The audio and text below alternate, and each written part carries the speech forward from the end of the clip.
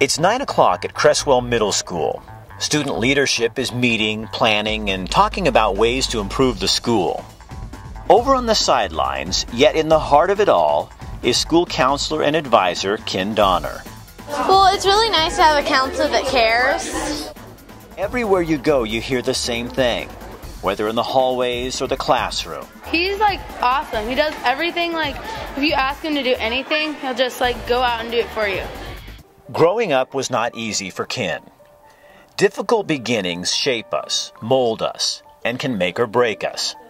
In Ken's case, it created a guy who is now the National Middle School Advisor of the Year for Oregon. I say that my faith and my life experience have made a huge difference, and it gives me the passion for the kids.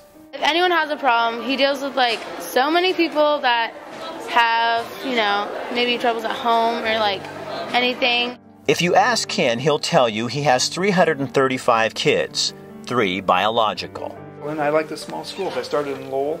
I feel like you can have a relationship with kids. I don't. I don't feel like that I have to be uh, a 7:30 to 3:30 kind of employee.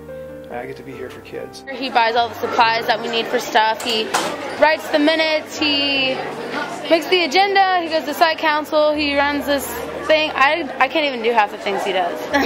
it's like amazing. Ken is effective because he cares. He's effective because he listens. Students love him because he leads by example, and he's been there. And that, that's really the heart of leadership is seeing the needs and reaching out and meeting those needs. When kids belong, when they find something to attach themselves to, they can flourish.